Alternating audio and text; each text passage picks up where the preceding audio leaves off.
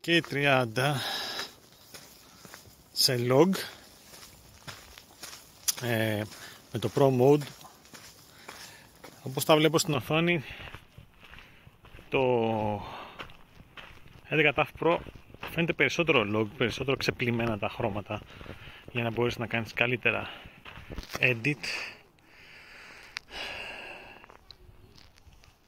Κάνει εντύπωση.